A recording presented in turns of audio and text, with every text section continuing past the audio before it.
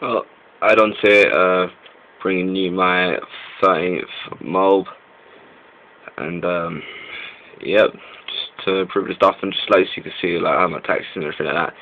Uh, you'll see um, like a few times you'll see uh, assist council's kill pops up uh, because I'm using Hardline Pro. I'm sure everyone knows that, but not what everyone knows is is that um, uh, when you get assist council's kill, that does count towards the MOAB as well. I mean, I only recently found out. Uh, the main reason why I'm putting this video off of a MOAB is because I got a message from someone afterwards. He's just saying I was cheating and everything like that. So here's the proof that you can just piss off, basically. He said I, I was cheating and everything like that because I called in a MOAB on 28 kills to 4 deaths.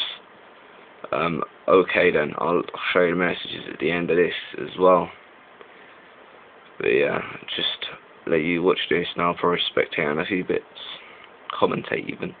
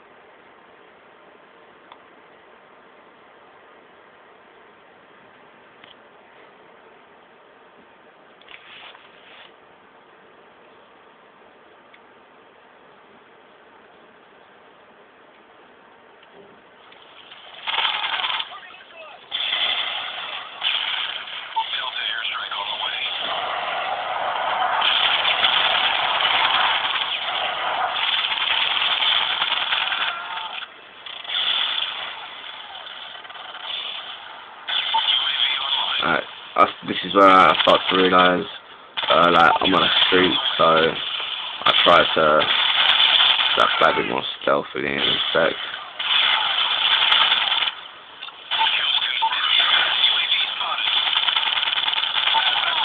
Um, 24 point string, MOAB.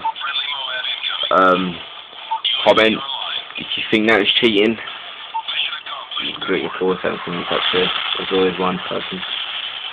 Yep. Thank you very much. See you next time.